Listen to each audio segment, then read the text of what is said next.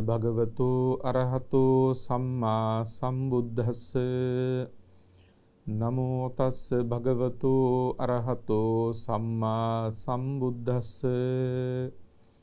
නමෝ තස්ස භගවතු අරහතු සම්මා සම්බුද්ධස්ස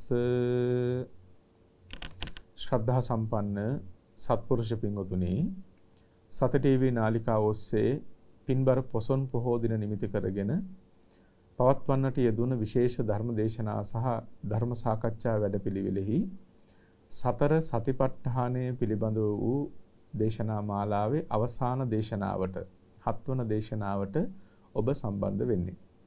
අද අපිට කතා කරන්නට තියෙන්නේ ධම්මානුපස්සනාව පිළිබඳව. කායානුපස්සනාව, වේදනානුපස්සනාව, චිත්තානුපස්සනාව පිළිබඳව මේ වෙනකොට අපි පැහැදිලි කරලා තියෙනවා.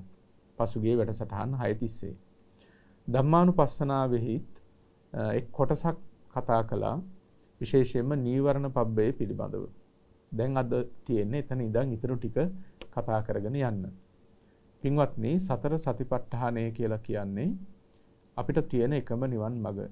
භාග්‍යතුන් වහන්සේ දේශනා කළේ ඒකායනෝ අයම් භික්කවේ මග්ගෝ මහණෙනි මේ එකම මගයි. සත්වයන්ට පිරිසිදු වෙන්නට තියෙන එකම මාර්ගය. නිර්වාණ ධර්මය සාක්ෂාත් කරගන්නට සියලු සසර දුකෙන් නිදහස් වෙන්නට තියෙන උත්තරීතරම එකම මාර්ගය තමයි සතර සතිපට්ඨානය කියන්නේ.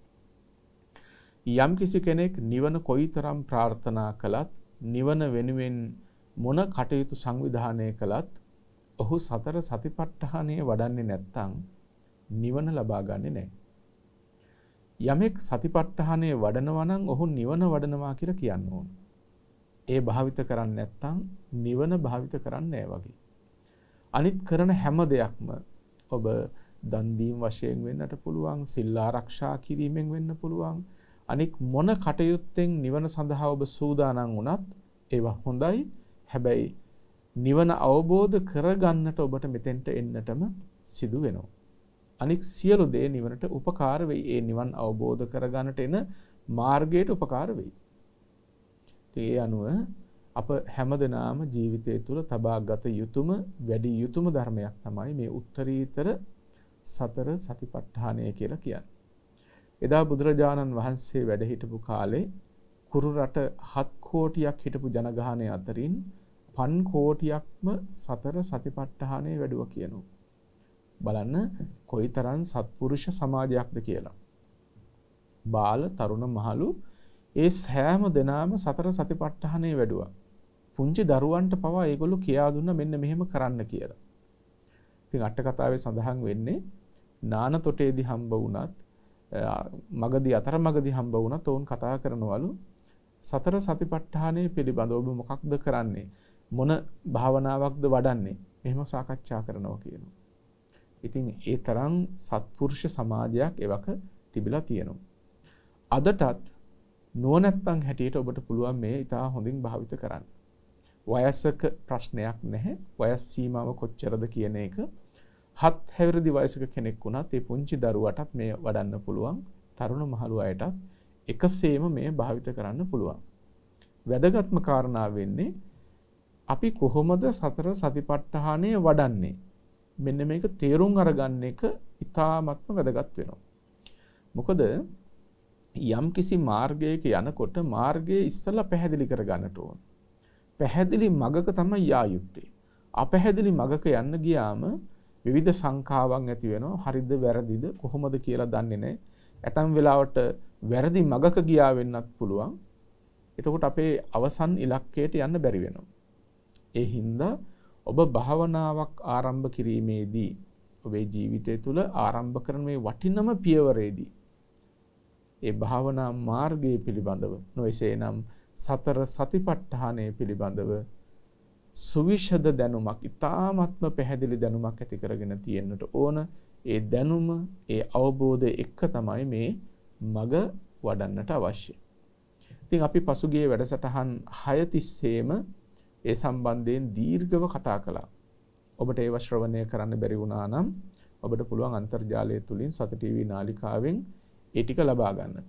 අපි ඔබට මතක් කරන්නේ සුපුරුදු පරිදිම ඒව ඇහුවේ නැත්නම් අහන්න මොකද ඒවායේ ඊටමත් වැදගත් කරුණු පැහැදිලි කරලා තියෙනවා. ඒවා නැවත නැවත මෙහිදී දක්වන්නේ නැහැ. එතකොට අද අපි කතා කරන්නේ ධම්මානුපස්සනාව නිසා මේට අදාළ වන විශේෂ දහම් කරුණු ටික තමයි පැහැදිලි කරන්නට බලාපොරොත්තු වෙන්නේ. ඊ타ත්ම සාවධානව ශ්‍රවණය කරන්න ධම්මානුපස්සනාව තුළින් ඔබ තේරුම් අරගන්නේ ඔබේ ජීවිතය පිළිබඳව. ඔබේම ජීවිතය ගැන මෙතුවක් කල් අවබෝධ කරගත්ත නැති එහෙත් යථා වශයෙන් පවතින දේ කුමක්දයි මෙහිදී තේරුම් අරගන්නට අවස්ථාව ලැබෙනවා. ජීවිතයක් කොච්චර පවත්වාගෙන ආවත් මොකක්ද මේ ජීවිතය මේකේ තියෙන යතහ ස්වභාවය මොකක්ද මේක ඇතුල් පැත්ත මොකක්ද මේක තේරෙන්නේ නැත්නම් අපි ජීවත් වුණත් ඉන්නේ කොතනද කියලා දන්නේ නැති පිරිසක් බවට පත් වෙනවා. ප්‍රතග්ජන සත්වයන්ගේ ස්වභාවය එහෙමයි. අනන්ත ಜಾති සංසාරයක් මුළුල්ලෙහි ඉපදෙමින් මැරෙමින් ආවා. එක තැනකදීවත් හරියට තේරුම් අරගත්තේ නැහැ ජීවත් වෙනවා කියන්නේ මොකක්ද කියලා. එක ජීවිතයකවත් හරියට තේරුම් අරගන්න බැරි වුණා. එහෙම තේරුම් අරගත්තා නම් මේ භවයෙන් නිදහස් වෙලා මාර්ගඵල අධිගමයන්ටපත් වෙලා ප්‍රතග්ජනයි කියලා කියන්නෙම කොයිතරම් ඉපදුනත් එකම තැනකදීවත් තමන්ගේ ජීවිතය පිළිබඳව ජීවත් වෙනවා කියන එක තුල තියෙන පරමාර්ථමය ස්වභාවය පිළිබඳව අවබෝධ කරගෙන නැහැ කියන එක. ප්‍රතග්ජනකම කියන අන්න එහෙම දෙයක්. ඒ හින්දා මේ මොහොත ඊතා සාවධානව හොඳ විමසන නුවණින් යුක්තව මේ කරුණ ටික අහගන්න ඔබ තේරුම් අරගන්න උත්සාහවත් වෙන්නේ ඔබේ ජීවිතයයි ඒ තේරුම් අර ගැනීම තුලින් තමයි ඔබට සමස්ත දුකෙන්ම නිදහස් වීමේ මාර්ගය විවර වෙන්නේ. අපි අද කතා කරන්නේ ධම්මානුපස්සනාවේ ඉඳලා කිව්වා. පුනච පරම්භික්කවේ බික්ඛු ධම්මේසු ධම්මානුපස්සී විහෙරති. පංචසු පාදානක්ඛන්දේසු. එහෙමයි බුදුරජාණන් වහන්සේ වදාරන්නේ. මේ ශාසනයේ භික්ෂුව ධර්මයන්හි ධර්මය අනුව බලමින් වාසය කරනවා කොහොමද පංච උපාදානස්කන්ධයන් කෙරෙහි. එතකොට කොහොමද මේ පංච උපාදානස්කන්ධය කෙරෙහි ධම්මානුපස්සනාව වඩන්නේ? පින්වතුනි මේ කතා කරන්නේ භාවනාව ගැන. අපේ ජීවිතය ගැන කතා කරනවා කියන්නේ ඒකම තමයි ඒ නුවණම තමයි භාවනාවට යොදා ගන්න තියෙන්නේ. ඒ නිසා හොඳ අවධානයෙන් බලන්න මොකක්ද මේ පංච උපාදානස්කන්ධය පිළිබඳව ධම්මානුපස්සනා වඩනවා කියන්නේ කියලා. ඉති රූපං ඉති රූපස්ස සමුදයෝ ඉති රූපස්ස අත්ංගමු. මේ රූපයයි මේ රූප සමුදයයි මේ රූපයේ අස්තංගමයයි. රූපේ පිළිබඳව මෙහෙම මෙනෙහි කරනවා. මේකට කියනවා ධම්මානුපස්සනාව කියලා. දැන් බලන්න රූපය පිළිබඳව මෙනෙහි කරනවා කියනකොට මේ පංච උපාදානස්කන්ධයෙහි පළවෙනිම ස්කන්ධය. පළවෙනි ස්කන්ධය පිළිබඳව බලනවා මේ තමයි රූපස්කන්ධය ඉති රූපං ඉති රූපස්ස සමුදයෝ රූපේ හට ගැනීම සිද්ධ වෙන්නේ මෙහෙමයි. හේතුව බලනවා. ඉති රූපස්ස අත්ංගමෝ රූපය නැති වෙන්නේ කොහොමද කියලා අවබෝධ කරගන්න. ඊට පස්සේ ඉති වේදනා. ඉති වේදනාය සමුදයෝ. ඉති වේදනාය අත්ංගමු. මේ වේදනාවයි කියලා වේදනාව හරියට තේරුම් අරගන්නවා. මේ වේදනාවට හේතුව මේ වේදනාවේ නැතිවීම. දැන් බලන්න ධම්මානුපස්සනා කියලා කියන්නේ මේ අනුපස්සනාවක්නේ. හොඳට නුවණින් බැලීමක් මේක. වඩා නුවණින් මෙනෙහි කර කර මේ බලන්න තියෙන්නේ. ගැඹුරු නුවණකින්. රූපය ගැන බලනවා රූපයයි එහි ඒට හේතුවයි නැතිවීමයි වේදනාව ගැනත් බලනවා. ඉති සංඥා ඉති සංඥාය සමුදයෝ ඉති සංඥාය අත්හංගමෝ. මේක තමයි සංඥාව කියලා කියන්නේ මේ සංඥාවට හේතුව මේ සංඥාවේ නැතිවීම. ඔය විදිහට සංඛාරය පිළිබඳව මේ සංඛාරයයි සංඛාරයට හේතුවයි සංඛාරයේ නැතිවීමයි. ඊළඟට හිත විඥාණය මනස කියලා කියන ධර්මය. එතකොට ඉති විඥානම් මේ තමයි විඥානය මේ සිත. මේ සිතට හේතුව මේ සිතේ නැතිවීම. ස්කන්ධ පංචකය බලනවා ස්කන්ධ පංචකය හටගන්න හේතු මොනවද? එතකොට ස්කන්ධ පංචකය නැති වෙන්නේ කොහොමද කියලා. මේ ස්කන්ධ පංචකයයි කියලා බලනකොට මේ රූපයයි මේ වේදනාවයි මේ සංඥාව මේ සංඛාරය මේ විඥාණය මෙහෙම බලනකොට ස්කන්ධ පිළිබඳව සුපැහැදිලි අවබෝධයක් ඇති වෙනවා. පිරිසිදු දැනීමක්. අපිට ප්‍රතග්ජන සත්වයන් හැටියට තියෙන රූපය ගැන කොහොම අදහසක්ද කියලා බලන්න. අපිට රූපය හම්බ වෙන්නේ රූපය වූ ධර්මතාවයක් වශයෙන් නෙමෙයි සත්ව පුද්ගලයෝ හැටියට. මම අපි මගේ දරුවෝ ගේ දොර ඉඩ කඩන් අන්න එහෙමයි අපිට රූපය පිළිබඳව සාමාන්‍යයෙන් හමුවන්නේ. මෙතනදි මේ පෙන්නන්නේ ඒ සාමාන්‍ය ඇහෙන් අවබෝධ කරගන්න මට්ටම නෙමෙයි ඒට වඩා විශිෂ්ටාකාරයකින් අවබෝධ කර ගැනීමක්. රූපය කියන එකේ ඇත්තම ස්වභාවය මොකක්ද කියලා බැලීමක්. වේදනාව කියන ධර්මයෙහි යතහ ස්වභාවය මොකක්ද කියලා විමසීමක් මේ කරන්නේ. සංඥාව කියන එකේ ඇත්තම කතාව මොකක්ද? එතකොට මේ සිතිවිලි හිතනවා හිතනවා කල්පනා කරනවා කියන එකේ සංඛාර කියලා කියන්නේ ඒකේ ඇත්තම ස්වභාවය මොකක්ද? අපි හැමදාම අරමුණු දැනගන්නවා. අරමුණු කරනවා අරමුණු දැනගන්නවා.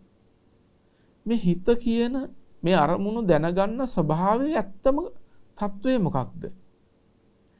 මෙතනදී මේ අවධානය යොමු කරන්නේ අපිට පුරුදු අපි මෙච්චර කාලයක් බලලා තියෙන සංකල්පයන්ගෙන් නෙමෙයි එහෙම බැලීමක් නෙමෙයි ඒ දැස මේ කරන්නේ ඒවායේ තියෙන ඇත්තම తත්වය මොකක්ද කියලා පරීක්ෂා කිරීමක් මේ සිද්ධ කරන්නේ ප්‍රතග්ජන සත්වයා මේ රූපයේ දෙස හෙලන්නේ ඔහු විසින් නිර්මාණය කරගත්ත ඔහු මේ තරම් කාලයක් ඇසුරු කරපු අදහස් ටිකකින් තමයි රූපයේ දෙස දෘෂ්ටිය හෙලන්නේ දැන් යම් රූපයක් මගේ ගෙදර මගේ ඉඩකඩම මගේ දූදරුවෝ කියලා ඇසුරු කරලා තියෙනවා නම් ඒ රූපයේ දෙස බලන්න එබඳු දෘෂ්ටියක් හෙලන්නේ. එබඳු දෘෂ්ටියකින් තමයි ඒ රූපයේ දෙස බලන්නේ. ඔබ මෙච්චර කාලයක් සරලව හිතන්න ඔබ මෙච්චර කාලයක් ඔබේ පුතා දිහා බැලුවේ පුතා කියන අදහසින්ම නෙමෙයිද කියලා. ඒ රූපයේ ඇත්ත විමසුවාද? යථා ස්වභාවය? නෑ එහෙම විමසන්නේ ඔබට අදහසක් තියෙනවා ඒ රූපය පුතා කියලා. ඔබ ඒ අදහසින්ම ඒ රූපය දෙස බලනවා. ඔබේ දෘෂ්ටිය හෙලනවා ඒ රූපය දෙසට. එහෙම ඔබේ අදහසින්ම බලනකොට ඔබට පේන්නේ ඇත්තටම පුතා ඉන්නවා කියලා තමයි මේ ඉන්න පුතා කියලාම හිතනවා පේනවා එතකොට මේ තා කාලයක් කලේ ඔබේ අදහසින් රූපය දෙස බලලා ඔබේ අදහසම තහවුරු කරගත්ත බවක් මිසක් රූපේ යතහ ස්වභාවය තේරුම් ගත්ත බවක් නෙමෙයි. අන්න එහෙම ප්‍රතග්ජන භූමියක ජීවත් වෙන කෙනාට තමයි මේ බුදුහාමුදුරු දේශනා කරන්නේ තමන්ගේ අදහසින් රූපයේ දෙස බලන්නේ නැතුව රූපේ ඇත්ත මොකක්ද කියලා විමසා බලන්න කියලා. ප්‍රඥාවට මග විවර කරගන්න කියලායි මේ දේශනා කරන්නේ. ඇත්ත විමසන්න කියලා. එහෙම නුවණින් විමසාගෙන යනකොට හසු වෙනවා නුවණට පේනවා අනේ රූපය කියලා කියන්නේ පඨවි ආපෝ තේජෝ වායෝ කියන සතර මහා ධාතු ටික සහ ඒ නිසා පවතින උපාදාය ධර්ම ටිකක් තියෙනවා වර්ණ ගන්ධ රස ඕජා කියලා. මෙන්න මේ ටික නේද? රූපය කියන එකේ ඇත්තම කතාවට ගියාම තියෙන්නේ පඨවි ආපෝ තේජෝ වායෝ සහ වර්ණ ගන්ධ රස ඕජා කියන උපාදාය ටික නේද? අන්න ඉති රූපං කියලා වටහා ගන්නවා. පින්වත්නි රූපය ගැන ඔබ එහෙම දැක්කොත් ඔබට රූපයෙහි ඇත්ත එහෙම පේනවා නම් හිතෙයිද මේ පුතා මේ දුව මේ ගේ දොර මේ ඉඩකඩම කියලා? නෑ. ඔබට හසු වෙයි එතකොට මෙච්චර කාලයක් සතර මහා ධාතු තියෙන රූපයකට නේද මේ රැවටිලා තියෙන්නේ? මා තුල තියෙන අදහස්වල වරදක් තියෙනව නේද? ඇත්තට වඩා ප්‍රතිවිරුද්ධව ගියපු අදහස් ටිකක් නේද? තමන්ගේ සිත තුල තියෙන්නේ කියලා ඔබට තේරුම් අරගන්න පුළුවන් වෙයි. පිංගුතුනි මේ ප්‍රතක්ජන භූමියේ ජීවත් වෙනවා කියලා කියන්නෙම තමා විසින්ම නිර්මාණය කරගත්ත වැරදි අදහස් ගොන්නකම ජීවත් වෙනවා කියන එක. එතනින් පිටට යන්නේ නැහැ. තමන් සකස් කරගත්ත ලෝකයක්. රූපේ තියෙන යථා ස්වභාවය වටහා ගන්නේ නැතුව අපිට තියෙන වෙනමම ලෝකයක්.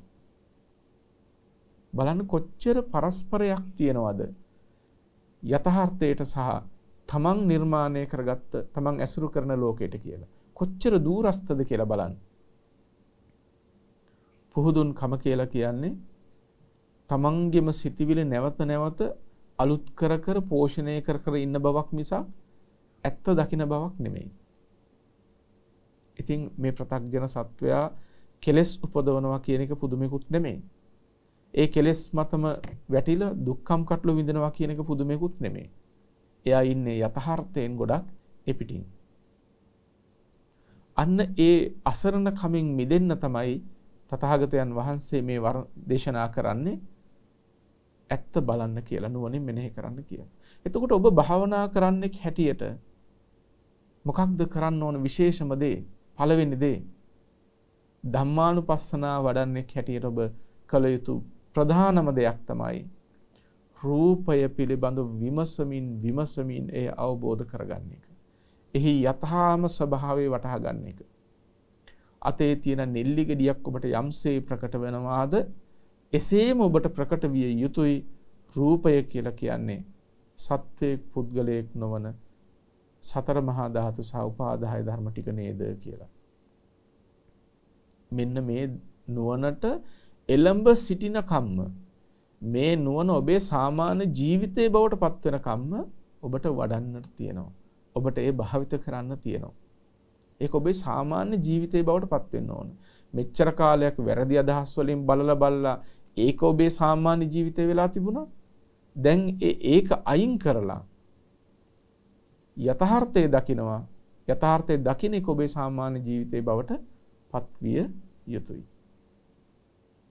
රූපේ පිළිබඳව බැලුවා වගේම වේදනාව කියන ධර්මය ගැනත් නුවණින් මෙනෙහි කරනවා.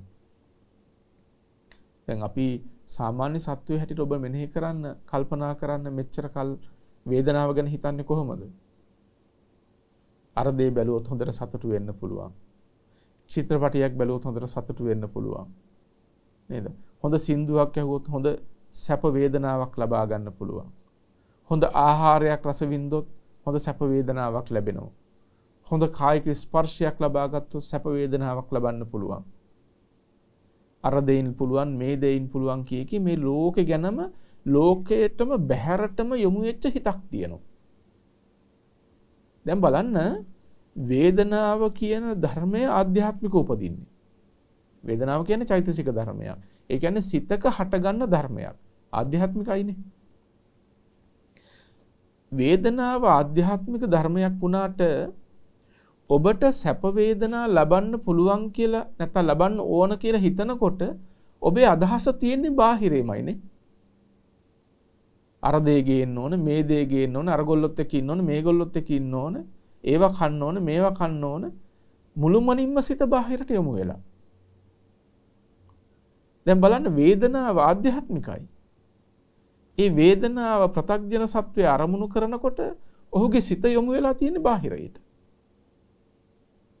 බලන්නකො මේ යථාර්ථය සහ මේ ප්‍රතක්ජන භූමිය අතර මොන තරම් වෙනසක් පරතරයක් තියෙනවද කියලා.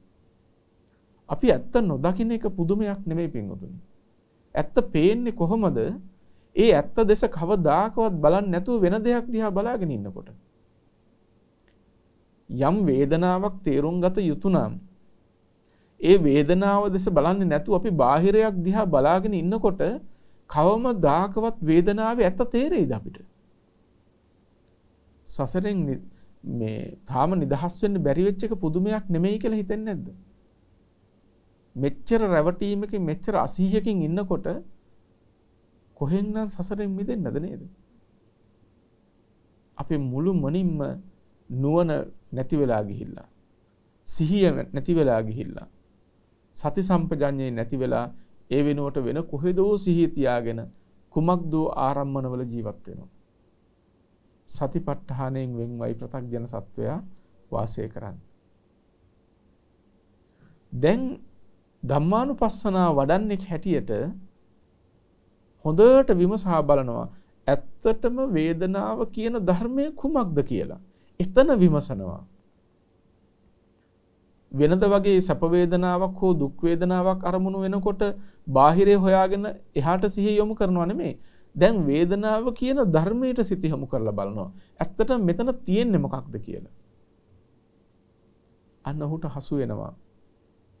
සැප වශයෙන් හරි දුක් වශයෙන් හරි අදුක්කම අසුක වශයෙන් හරි වේදනා මාත්‍රයක් සිතක උපදිනවා. ඒක ආධ්‍යාත්මිකයි. සිතක හටගන්න ධර්මයක්. සිතින් බැහැරව උපදිනව නෙමෙයි.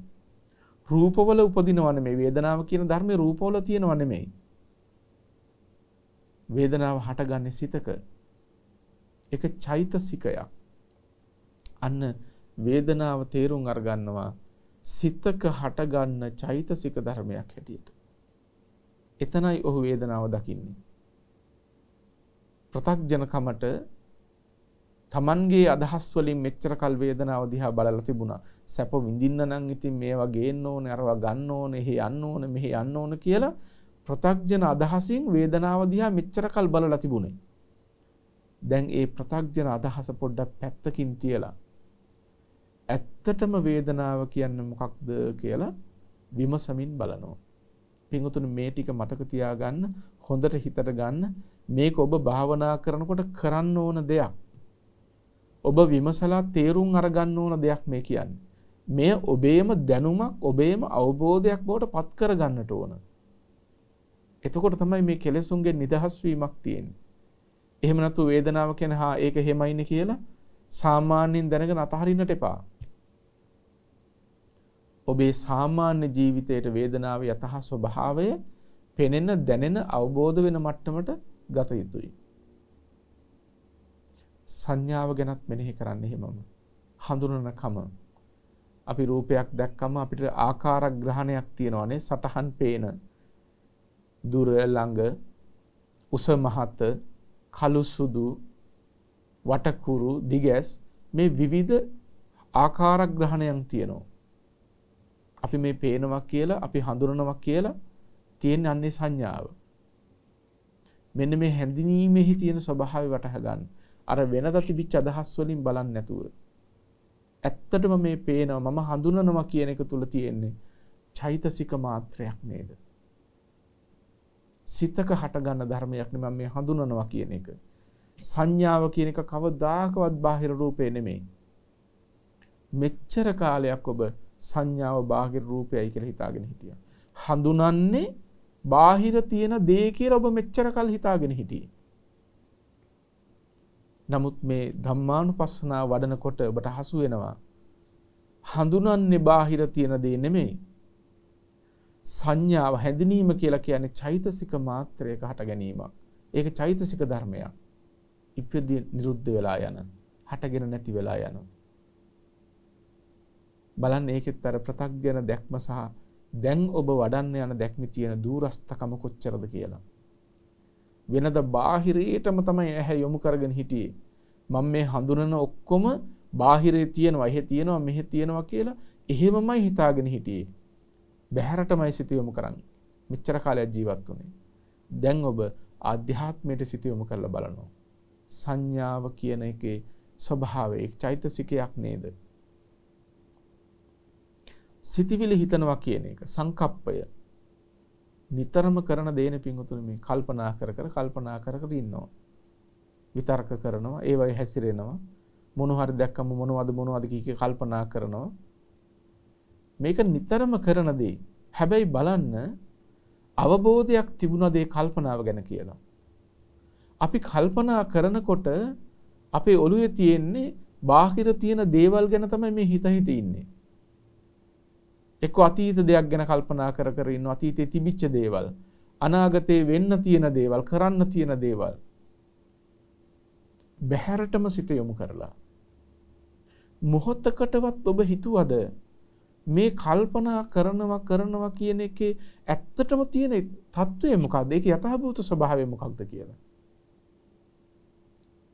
ඒකේ යථාභූත ස්වභාවය තමයි චෛතසික මාත්‍රයන් පිංගුතුනි සංඛාර කියලා කියන්නේ. වේදනා සංඥා වගේම සිතක උපදින ධර්මයන්. සිතත් සමගම ඒ චෛතසික ධර්මයන් නිරුද්ධ වෙලා යනව නැති වෙලා යනවා. එතකොට ආධ්‍යාත්මයෙහි හටගන්න නැත්නම් සිතක හටගන්න හුදු චෛතසික ධර්ම ටිකක්. ඒක කොහෙන්ද පිංගුතුනේ බාහිර? යමක් සිතක නම් උපදින්නේ සිතක නම් පවතින්නේ සිත තුල නම් නැති වෙන්නේ. ඔබට හිතෙන්නේ නැද්ද ඒක බාහිරෙන් කවදාවත් ගන්න බැහැ නේද කියලා? හැබැයි එහෙම බැරි වුණාට මෙච්චර කාලයක් හිතන්නේ හිතන්නේ හිතන්නේ බාහිර ගැන කියලාමනේ. හිතන දේ බාහිර තියෙනවා කියලාමනේ. අන්න ඒ වැරදි අදහසයි ඔබ දැන් දුරු කරගන්නේ. මොන විදිහට කල්පනා කළත් චෛතසික ධර්මයක් සංඛාර කියන ඒවා චෛතසිකයන්. එතකොට මේ සංඛාරස්කන්ධේ චෛතසික ධර්ම ටික හොඳට පැහැදිලි කරගන්නවා. මේක ආධ්‍ය සිත තුල හටගන්න ධර්මයක්. සිත තුල හටගෙන සිත තුල පැවත සිත තුලම නැති වෙලා යනවා. සිතවිලි පින්වතුනි බාහිරට විදින්නේ නැහනේ. බාහිරට දුවන්නේ නැහනේ. ඒක සිත තුලම හටගෙන එහෙම නැති වෙලා යනවා. අවිද්‍යාවට හිතෙන්නේ මේ බාහිර ගැන තමයි මෙච්චර මේ කල්පනා කර කර ඉන්නේ කියලා. බලනකොට හිතම පිරිමදිනවා. හිතම අවුස්ස අවුස්ස හිතම පිරිමදින වැඩක් මේ. අන්න සංස්කාර ගැන අවබෝධ කරගන්නවා මේවා චෛතසික මාත්‍රයක් නේද මේ. හටගෙන නැති වෙලා යනවා. ඉති විඤ්ඥානං සිතත් අවබෝධ කරගන්න විඤ්ඥානය කියන්න මොකක්ද කියලා. අපිට පෙන්ගොතුනේ සිත උපන්දායිදම් මේ වෙනකුණුත් තියෙනවා. අනන්ත ජාති සංසාරයකුත් මේ සිත පරිහරණය කළා. හැබැයි එකම සිතක් නෙමෙයි. සිත කියන එක වහා ඉපිද වහා නැසෙන ධර්මයක්. එක සිතක් උපන්නද ඒ සිත නැති වුණාද ඒක අය කවදාකවත් ලබා ගන්න බෑ. ලැබෙන්නේ නැහැ. ඒ සිත කොහේවත් තැම්පත් වෙනවා හැම නෙමෙයි. විඥානය කියලා කියන්නේ කොහේ හරි මේ දැන් හටගෙන නැති වුණා ඒක කොහේ හරි තැම්පත් වුණා එහෙම නෙමෙයි. විඥානය කියන එකේ ස්වභාවයම මේ හටගත්තා එසැනින්ම නිරුද්ධ වෙලා යනවා නැති වෙලා යනවා. තැම්පත් වීමක් නැහැ. ඒ නිසා අතීත චිත්තයන් අතීත සිතක් කවදාකවත් වර්තමාන සිත හා මුසුවන්නේ නැහැ. අතීත සිතක් කවදාකවත් අනාගතයට ගමන් කරන්නේ නැහැ. මොකද ඒක ඉවර වෙලා ගියා. නැවත හට ගැනීමක් නැහැ. එතකොට මේ සිත වහා ඉපිද වහා නැසෙනවා. ඊතා වේගයෙන් මේ ක්‍රියාවලිය සිද්ධ වෙනවා. සිතක තියෙන ස්වභාවය නිසා සිතක තියෙන සිතටම ආවේනික වූ ගතිය නිසා වේගෙන් ඉපදිලා නැති වෙනවා වේගෙන් ඉපදිලා නැති වෙනවා. අරමුණු කිරීමේ හැකියාව තියෙනවා. මෙන්න මේ ගති ලක්ෂණ ටිකත් එක්ක එකම හිතක් එනවා වගේ අපිට හිතෙන්නේ. අපිට තේරෙන්නේ එහෙමයි. එකම සිතක් පැවතගෙන එනවා කියලා. මොකද මේ සිත කියන ධර්මයේ ස්වභාවය තමයි ඒ චිත්තයට පුළුවන් අරමුණු කරන්නට ඒ චිත්තයට කල්පනා කරන්න පුළුවන්. එතකොට අතීතයේ යම් සිතක් හටගත්තා නම් ඒකේ ඉපිද එතනම නැති වුණා. හැබැයි වර්තමාන හටගන්න සිතට පුළුවන් අරමුණු කරන්න. එතකොට අපිට හිතෙන්නේ නැහැ අපිට තේරෙන්නේ නැහැ මේ වර්තමාන සිත නේද මේක කියලා. අපිට හිතෙන්නේ අතීත සිත ගැන මේ කල්පන අතීත අත්දැකීම් ගැන තමයි මේ හිත හිත ඉන්නේ කියලා. එකම සිතක් වගේ පේන්නේ. ඉතින් මේ චිත්තය කියන ධර්මය මේකේ ක්‍රියාවලිය තේරුම් අරගන්න හරි දුෂ්කරයි. හැබැයි ඔබට පුළුවන් නුවණින් මෙනෙහි කරලා මේක වටහා ගන්නට. නාමයත් රූපයත් කියන ධර්මතා නිසා ප්‍රත්‍යයෙන් විඥානයගේ හට ගැනීමක් තියෙනවා. ඇසත් රූ අපි චක්කායතනෙන් ගත්තොත් ඇසත් රූපයත් කියන කොටස රූපය ඊට පස්සේ නාම ධර්ම ටික තියෙනවා ඒ රූපයත් නාමයත් කියන ටික නිසා තමයි විඥානය කියන ධර්මය පවතින්නේ. නාම රූප දෙක නැත්තම් විඥානයක පැවැත්මක් නැහැ. ඔන්න ඔය විදිහට සිතත් තේරුම් අරගන්නවා. දැන් මේ රූප වේදනා සංඥා සංඛාර විඥාන කියන ස්කන්ධ පංචකයේම එකින් එක එකින් එක විමසගෙන එනකොට පේනවා කිසිම තැනක පුද්ගලයෙක් හම්බ වෙන්නේ නැහනේ. වෙනද හම්බ වෙච්ච මිනිස්සයෝ ස්කන්ධ තුල හම්බ වෙන්නේ නැහනේ. කො කලින් හිටපු සත්වයා කලින් හිටියයි කියලා හිතච්ච පුද්ගලයා කෝ කලින් හම්බ වෙච්ච ගේදර ඉඩ කඩන්කෝ ස්කන්ධ තුල එකම ධර්මයක්වත් හම්බ වෙන්නේ ස්කන්ධ මෙනෙහි කරනට හම්බෙන ස්කන්ධ මාත්‍ර පමණයි. අන්න අපේ අවිද්‍යාවට පහර වදිනවා. මෙපමණ කාලයක් වැරදිලා තිබුණ නේද?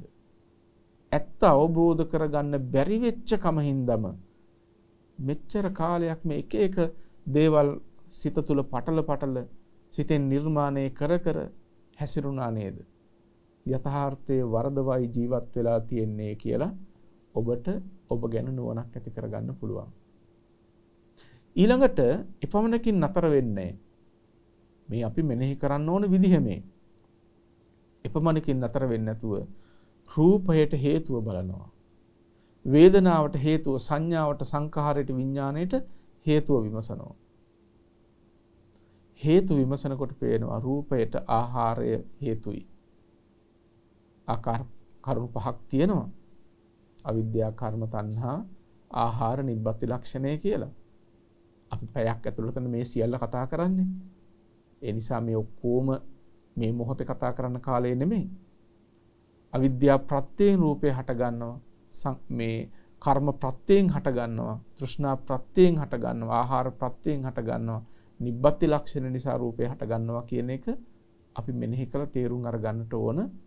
මේ වෙලාවේ කෙටියෙන් හඳුන්වා දුන්නත් ඔබ ඒවා ඉතා හොඳින් මෙනෙහි කරලා අවබෝධ කර ගැනීම වැදගත් වෙනවා.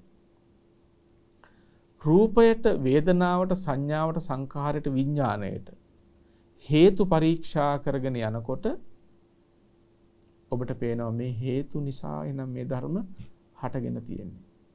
හේතු නිසායි හටගෙන තියෙන්නේ. හට ගැනීම අවබෝධ කරගන්න කෙනාට උච්ඡේදවාදය ඉතිරි වෙන්නේ. මොකද ඔහු දන්නවා මේ හේතු ඇති කල්ලි හට ගැනීමක් තියෙනවා කියලා. හේතු ඇති කල්ලි හටගන්නවා කියලා දන්න කෙනාට උච්ඡේද දෘෂ්ටිය පිහිටන්නේ. හේතු නැති කල්ලි නැති වෙනවා කියලා දකින කෙනාට ශාස්වත දෘෂ්ටිය පිහිටන්නෙත් නැහැ. මේ ප්‍රතග්ජන භූමියේ තියෙන අදහස් නෙමේ ශාස්වත උච්ඡේද දෘෂ්ටි. අන්න ඒ දෘෂ්ටි දෙකම දුර වෙලා යනවා. හට ගැනීම සහ නැතිවීම බලනකොට. පින්වත්නි ධම්මානුපස්සනාවේදී ඉති රූපං ඉති රූපස්ස සමුදයෝ ඉති රූපස්ස අත්ංගමෝ කියලා බලනකොට මේ රූපයයි මේ රූපෙට හේතුවයි මේ රූපෙට නැතිවීමයි රූපයේ නැතිවීමයි කියලා දකිනකොට දුරු වෙලා තියෙන්නේ ශාස්වත උච්ඡේද දෘෂ්ටි දෙක. ඇත නැත කියන අන්ත දෙකයි දුරු වෙලා තියෙන්නේ. ඔබ පිවිසලා තියෙන මධ්‍යම ප්‍රතිපදාවටයි.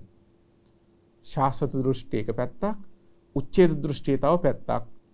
ඔබ ගමන් කරන මධ්‍යම ප්‍රතිපදාව තුලින් ප්‍රත්‍යයන්ගෙන් හටගෙන ප්‍රත්‍ය නැති වෙනකොට නැති වෙන ධර්ම සමුදායක් නේද කියන එක ඔබ තේරුම් අරගන්න ඔබ ගමන් කරන්නේ මධ්‍යම ප්‍රතිපදාවේ. ඔය විදිහට ස්කන්ධයන් පිළිබඳව මෙනෙහි කරනවා. ආධ්‍යාත්මික බාහිර දෙපැත්තම බලනවා.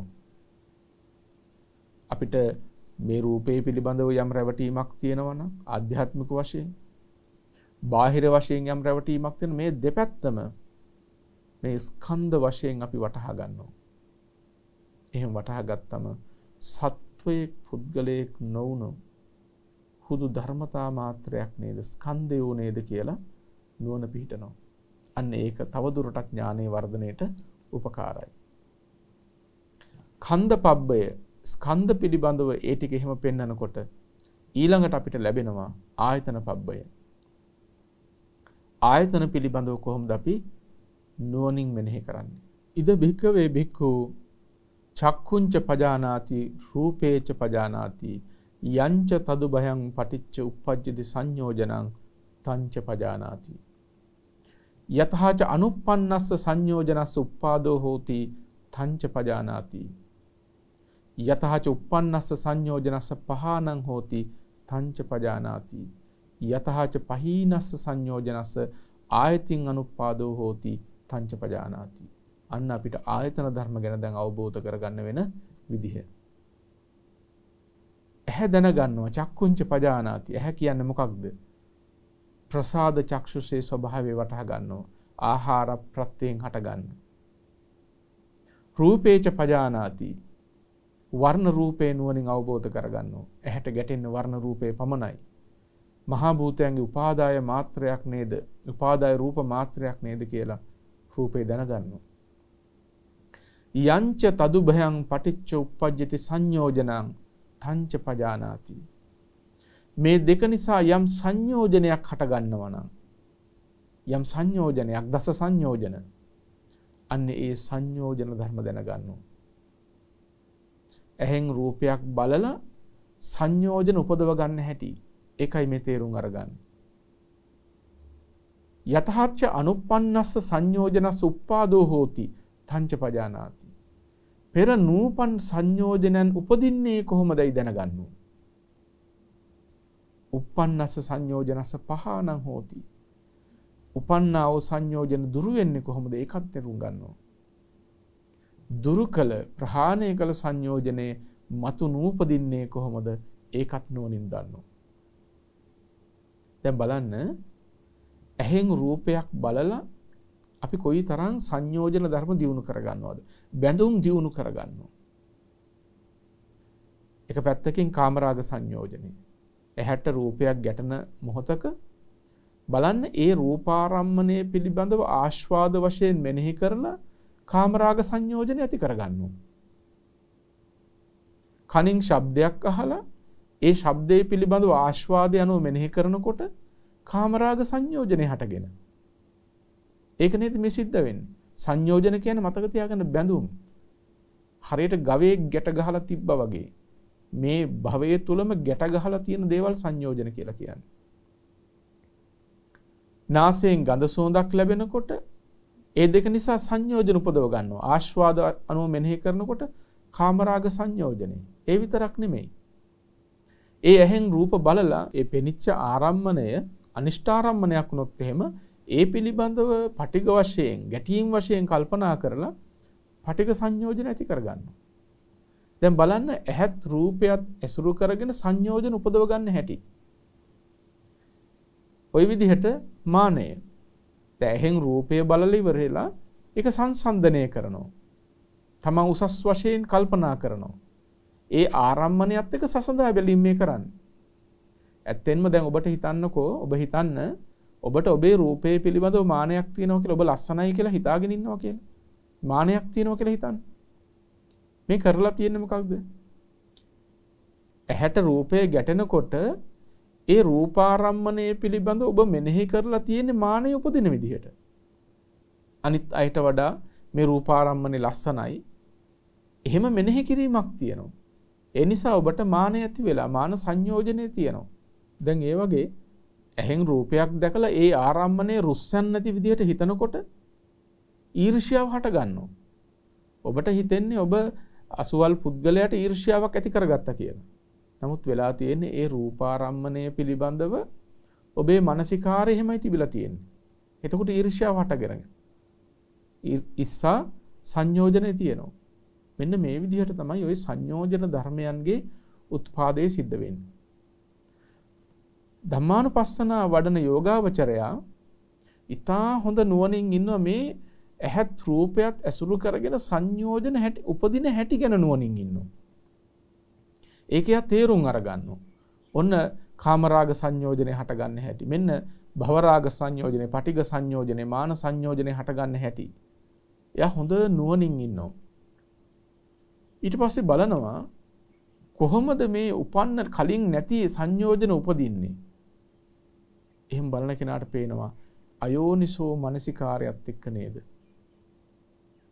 චක්කු සම්පාතගත වෙච්ච ආරම්මණය පිළිබඳව අයෝනිසෝ මනසිකාරය නුනුවනින් මෙනෙහි කිරීමත් එක්ක නේද මේ සංයෝජන උපදින්නේ.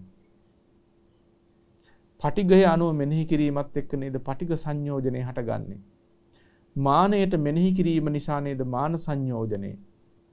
එයාට පේනවා ඒ ආයතනය පිරිසිඳ දැනගන්න බැරි වෙච්ච අවිද්‍යාව නිසා වරදවා සිතිවිලි කල්පනා කිරීම අයෝනිසෝ මනසිකාරය නිසා මේ මේ සංයෝජන ධර්ම උපදිනවා නේද කියලා පේනවා.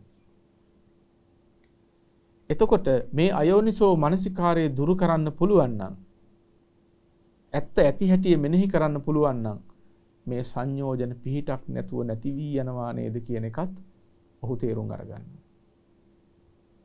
යම් විදිහකින් මතු නූපදන පරිදිම සංයෝජන ප්‍රහාණය කළා නම් ඒව නැවත කවදාකවත් හටගන්න හැ නේද කියන එකටත් නුවණ තියෙනවා. සෝවාන් මාර්ගයෙන් සක්කාය දිට්ඨි විචිකිච්ඡා සීලබ්බත පරාමාස කියන මේ සංයෝජන ධර්මය දුරු කරලා දානවා. ඒ විදිහට ඒවා අනුත්පාද වශයෙන්ම දුරු කරනවා සෝතාපට්ටි ඵලයෙන්. සෝතාපට්ටි මාර්ගයෙන් දුරු කරනවා සෝතාපට්ටි ඵලයට එතකොටපත් වෙනවා. ওই විදිහට ඒ ඒ මාර්ග ඵලයන්ගෙන් මේ සංයෝජන ධර්ම දුරු කළාම නැවත කවදාකවත් උපදින්නේ නැහැ නේද කියලා නුවණට වැටහෙනවා. පින්වත්නි මේ ආකාරයට ආයතන 12 පිළිබඳවම. ආයතන 12 කිව්වේ චක්ඛායතනය රූපායතනය. සෝතායතනය සද්ධායතනය. පස්සේ අපි ගත්තොත් නාසය ගන්ධය. දිව රස කය පොට්ටබ්බය. මනස සහ ධර්මාරම්මණය මේ ආධ්‍යාත්මික ආයතන සයත් බාහිර ආයතන හයත් පිළිබඳව හොඳට නුවණින් විමසනවා. මේවා ආශ්‍රයෙන් සංයෝජන උපදින්නේ කොහොමද? ඒ සංයෝජනයන්ට හේතු මොනවද? ඒ සංයෝජන ප්‍රහාණය වෙන්නේ කොහොමද? මතු නූපදින ස්වභාවයටම පත් කරන්නේ කොහොමද කියලා නුවණින් මෙනෙහි කරනවා. ඒ සඳහා කටයුතු කරනවා. මේ ආකාරයෙන් ආයතන පබ්බය ඇසුරු කරගෙන ධම්මානුපස්සනාව වඩනවා. මේ ඉතා කෙටියෙන් පින්වතුනි ඔබට මේ ටික හඳුන්වා දෙන්නේ මුළු ධම්මානුපස්සනාවක් පැයක් ඇතුළත පැහැදිලි කිරීම දුෂ්කර වුණත් කෙටියෙන් කෙටියෙන් හරි ඔබට මේ කියා දෙන්න මේ ටික හොඳට මතක තියාගෙන මෙහෙම වඩන්න උත්සාහවත් වෙන්න. ඊට පස්සේ අපිට හම්බ වෙනවා බොජ්ජංග ධර්ම. පින්වත්නි ප්‍රතග්ජන කමට මේ කෙලෙස් බහුල කෙලෙස් නැවත නැවත උපදවමින් බහුලව උපදවමින් ජීවත් වුණාට මේ සතර සතිපට්ඨානය වඩන්න පටන් ගන්නකොට අපිට බොජ්ජංග ධර්ම වැඩෙන්න ගන්නවා. නිවනට වටිනා නිවනට අදාළ ධර්ම වැඩෙන්න පටන් ගන්නවා. ඒක නිකම්ම වෙනවා නෙමෙයි අපි කරනකොට සිද්ධ වෙන දෙයක්. සති සම්බොජ්ජංගය ඔහුට වැඩෙනවා. ධම්මානුපස්සනා වඩන යෝගාවචරයාට අන්න බුද්ධංග ධර්මයන් Taman තුල තියෙනවද නැද්ද කියන එක හොඳට වටහා ගන්න පුළුවන්. සන්තං වාජ්ජත්තං සති සම්බොජ්ජංගං අත්තිමේ අජ්ජත්තං සති සම්බොජ්ජංගෝති පජානාති. තමා තුළ සති සම්බොජ්ජංගේ තියෙනවාද ඔහුට හොඳට වැටහෙනවා. අසන්තං වාජ්ජත්තං සති සම්බොජ්ජංගං තමන් තුළ සති සම්බොජ්ජංගේ නැත්තං ඒකත් වටහා ගන්නවා. ඒකත් නුවනට හසු වෙනවා. සති සම්බොජ්ජන්ගේ වැඩෙන්නේ කොහොමද කියන එක ඔහුට නුවට ප්‍රකට වෙනවා. පිඟුතුන් සති සම්බොජ්ජන්ගේ කියලා කියන්නේ මේ සිහිය මනාකොටම වැඩීම. සතර සතිපට්ඨානයේ වඩනකොට වෙන්නේ සති සම්බොජ්ජන්ගේ වැඩෙන එකයි. සිහියයි පිඟුතුන් මේ වැඩෙන්නේ. සිහිය වැඩෙන්නට උපකාරක ධර්මය කුමක්ද? යෝනිසෝ මනසිකාරය. නුවණින් මෙනෙහි කිරීම.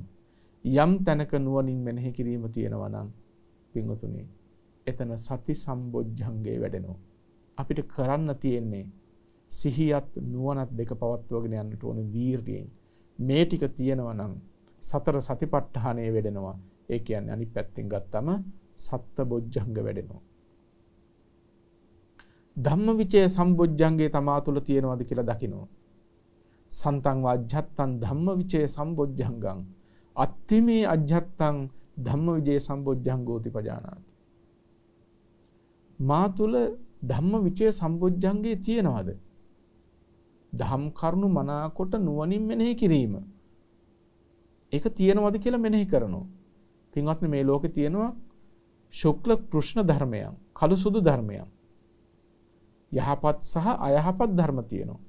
මෙන්න මේ ධර්ම පිළිබඳව නුවණින් මෙනෙහි කිරීම තියෙනවද?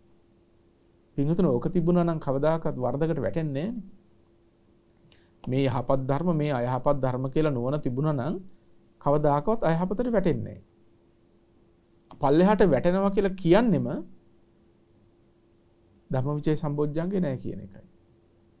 ඒ නිසා ඔබට ඔබ ගැනම නුවණින් විමස විමස බලනවා මා තුල මේ ධර්ම විචය ධම් කරුණු සම්මර්ෂණය කිරීම යහපත් අයහපත් ධර්ම පිළිබඳව මනාකොට මෙනෙහි කිරීම හොඳින් වැඩෙනවද කියලා බලනවා. තමා තුළ එහෙම නැත්තම් ඒකත් හසු වෙනවා සිහියට. තමන් තුළ ධම්මවිචේ සම්බොජ්ජංගයක් නෑ මේ වැඩකට නැති වල්පල් හිත හිත ඉන්නේ. පලක් නෑ නේද කියන එකත් තේරුම් ගන්නවා. පිඟුතුන මේක මේක වැටහෙන්නේ ධම්මානුපස්සනාව වඩන කෙනාට. තමන්ගේ සිත පිළිබඳව ප්‍රතිවීක්ෂා කරන කෙනාටයි මේක වැටහෙන්නේ.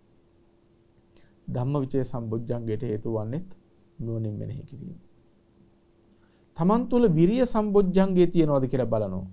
වීරිය. නැද්ද කියලත් බලනවා. නුවණට පේනවා තමන් තුළ විරිය සම්බොජ්ජංගේ තියෙනවද නැද්ද කියන එක. තාමත් කම්මැලිකමට අලසකමට කෙලෙස් ගොඩේම වැතිරලා ඔහේ නින්දට බර වෙලා හිස් මිනිහෙක් වගේමද කල් ගෙවන්නේ. නැත්තම් ටික ටික හරි විරිය සම්බොජ්ජංගේ වැඩෙනවද? අන්න විමසා බලනවා. පිඟුතුන මේ වීරියටත් අවශ්‍ය වන්නේ යෝනිසෝ මනසිකාරය. නුවණින් මෙනෙහි කිරීම තියෙන කෙනාටම තමයි වීරිය උපදවා ගන්න පුළුවන්. නුවණින් මෙනෙහි කිරීමක් නැත්තම් විරිය සම්බොජ්ජංගේ වැඩෙන්නේ නැහැ. ඔය විදිහට පීති සම්බොජ්ජංගේ තියෙනවද? එකින් එක එකින් එක විමස විමස බලන සත්ත බොජ්ජංග ධර්මයන්. පිඟුතුන ඔය ආකාරයෙන් ධම්මානුපස්සනා වඩන යෝගාවචරයා තමා තුළ පවතින මේ උතුම් බොජ්ජංග ධර්මයන් ගැන වැටහීමක් ඇති කරගන්නවා. අවසාන වශයෙන් අපිට හම්බ වෙන්නේ ධම්මානුපස්සනාව තුළ සත්‍ය කොටස චතුරාර්ය සත්‍ය. ඉතා දීර්ඝ විග්‍රහයක් සතර සතිපට්ඨානය තුළ චතුරාර්ය සත්‍ය වශයෙන් ලැබෙන්නේ. දුක දුකට හේතුව දුක්ඛ නිරෝධය දුක්ඛ නිරෝධගාමිනී ප්‍රතිපදාව. එකින් එක සම්මර්ෂණයක්. පින්වතුනි මේ සියල්ල හකුලවල ගන්න මුළු සතර සතිපට්ඨානයම හකුලවල ගන්න. මේ සියල්ල තුල අන්තිමට අපිට හම්බ වෙනව නේද? සිහියත් මනාකොට මෙනෙහි කිරීමත් වීරයක් කියන තුන. ඒක තමයි ආතාපි සම්පජානෝ සතිමා කියලා බුදුහාමුදුරු මුලින්ම සතර සතිපට්ඨාන සූත්‍රය දේශනා කරනකොට වදාළේ. කෙලෙස් තමන වීරය තියෙන්න ඕනේ සිහිය තියෙන්නට ඕන සම්යක් ප්‍රඥාව තියෙන්නට ඕන. මෙන්න මේ ටිකෙන් තමයි මුළු සතර සතිපට්ඨානයම වඩන්නට තියෙන්නේ. ඒ නිසා නොසිතා ඉන්න එකවත් එහෙම නැතුව කරන්නම් වාලේ මොනවා හරි කර කර ඉන්න එකවත් භාවනා කරන්න කියා දුන්නම් ඒක ටිකක් වෙලා වඩ වඩ ඉඳලා මොකක් හරි දැක්කම එලියක් දැක්කා හිස් වුණා සුදු පාටට පෙවුණා නැති වෙච්ච අම්මා දැක්කා තාත්තා දැක්කා කිය කී ඉන්න එකවත් ඒ වගේ අන්ධ බාල මගක නෙමෙයි ඔබ යා යුත්තේ ඔබ යා යුත්තේ සිහිනුවනෙන් ඊතා නුවණැති පුරුෂයන් ගමන් කළ මගකයි. ඔබට යන්න තියෙන්නේ මේ විදිහේ මගක. සරියුත් මහරහතන් වහන්සේ, මහා මුගලන් මහරහතන් වහන්සේ මේ මහා උතුමන් වහන්සේලා ගමන් කළ මගෙයි ඔබට යන්න තියෙන්නේ. ඒ උතුමන් වහන්සේලා ගිය මගයි ඔබේ මගවන්නේ. ඒ නිසා කරන්නම් වාලි කියන්නම් වාලි නෙමෙයි මන අනුවණින් දැනගෙන දැකගෙන මේ මග ගමන් කරන්න. ඒ උත්තරීතර නිවන සාක්ෂාත් කරගන්නට අප්‍රමාදීවම කටයුතු කරන්න. ඒ බවත් සිහිපත් කරමින් අදට මේ දේශනාව නිමාවට පත් කරනවා. අද පින්වත් ඔබ සෑම සියලු දෙනාටම මේ උතුම් ධර්මය ශ්‍රවණය කිරීම සඳහා දායකත්වය සලසාලමින් දහසර ලබා දෙන සැදැහැබර පිංතුන්ට අපි මේ මොහොතේදී තාමත්ම කෘතවේදීව සත්පුරුෂ අදහසින් පුණ්‍යානුමෝදනා කරන්නට ඕන. කල්පනා කරගන්න අද සතර සතිපට්ඨාන වැඩසටහනෙහි දායකත්වයේගෙන කටයුතු කරනවා නවසීලන්තයේ පදිංචි ජයරානි කොඩිකාර පින්වත් මහත්මිය විසින් අරමුණු වශයෙන් ඇති කර ගන්නවා ධර්මාවබෝධය ලැබේවා කියලා. ඒ වගේම දෙපාර්ශ්වයේම සියලු ඥාති හිතයිශීනටත් ධර්ම ශ්‍රවණය කරන ඔබ සෑම සියලු දෙනාටත් සියලු යහපත වේවා ධර්මාවබෝධය වේවා කියන උතුම් පැතුම ඇති කර ගන්නවා. කල්පනා කරගන්න. ඊතා සත්පුරුෂ අදහසින් යුක්තව මේ ධර්ම දානය ලබා දීමෙන් රැස් කරගත්ත උදාර පුණ්‍යලාභයන්. ඒ වගේම ධර්ම දේශනා කිරීමෙන් ලෝපුරා සිටින සදහැවතුන් ධර්ම ශ්‍රවණය කිරීමෙන් මේ හැම ලෙසකින්ම රැස් කරගත්ත උතුම් පුණ්‍යලාභයන් අපි අනුමෝදන් කරමු. ප්‍රථමයෙන්ම ලෝසසුන් ආරක්ෂා කරන ඔබ අප ආරක්ෂා කරන දෙවියෝ අනුමෝදන් වෙත්වායි සාදු කියලා පින් අනුමෝදන් කරන්න. නමින් නැසීමිය පරලොවගේ ඥාතීන් සිහියට නගා ගන්න මෙලෝ පරලෝගත වර්ග પરම්පරානුගත සියලු ඥාති හිතයිශීනොත් පින් කැමති හැම සත්වගත් මේ පින් සතුටින් සාදුනාදයෙන් අනුමෝදන් වෙත්වා. දුකින් මිදෙත්වා සුවපත් වෙත්වා ඒ මේ සියලු ඥාතීන් ලෞතුරු නිවනින් සැනසෙත්වායි සාදු කියලා පින් අනුමෝදන් කරන්න. දායකත්වයේ දරන සදහැබර පින්වත් මහත්මිය ඇතුළු පවුලේ සෑම දෙනාටත් ධර්ම ශ්‍රවණය කළ ඔබටත් සදේවක ලෝකයාටත් උතුම් පින් බැලෙන් රත්නත්‍රයේ අනන්ත උගන බලයෙන් දෙව්රක වරණින් නිදුක් නිරෝගී සුවය දිගාසිර වේවා පාප මිත්‍ර සේවනයෙන් දුරව සත්පුරුෂාශ්‍රයම සැලසේවා ලෞතුරු නිවනින් සැනසෙන්නට මේ පින් හේතු වාසනා පාරමී බවටම පත් වේවායි සාදු කියලා නිවන් ප්‍රාර්ථනාත් කරගන්න. සෑම දිනාටම තෙරුවන් සරණයි. Thank you.